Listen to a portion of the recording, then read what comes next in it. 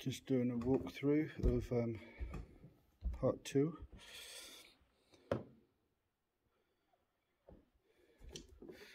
Yesterday's video, it's all been vacuumed this morning. It's looking good. All the stains and marks have come out alright.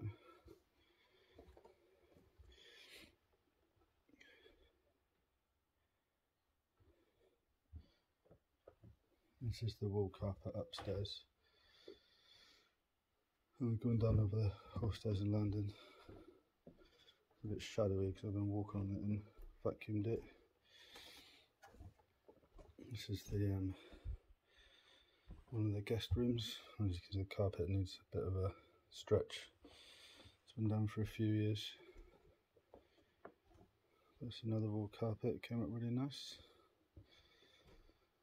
dry and smelling amazing. That stain, it's been there for a few years. It was a leak from the roof, as is those two there.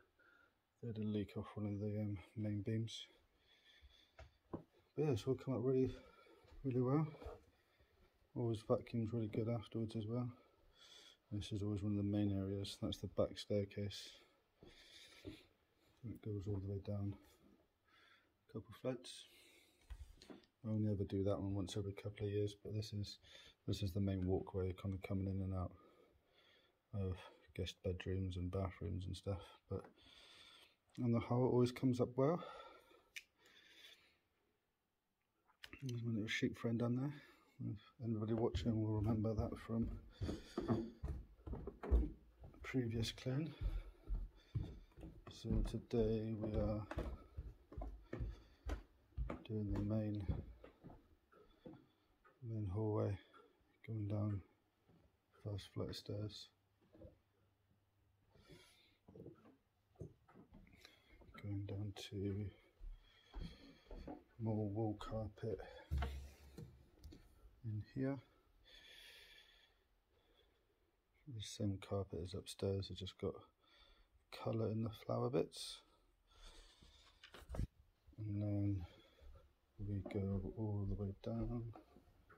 This always gets really dirty. They've got dogs and it's a busy, busy place. Over the stairs.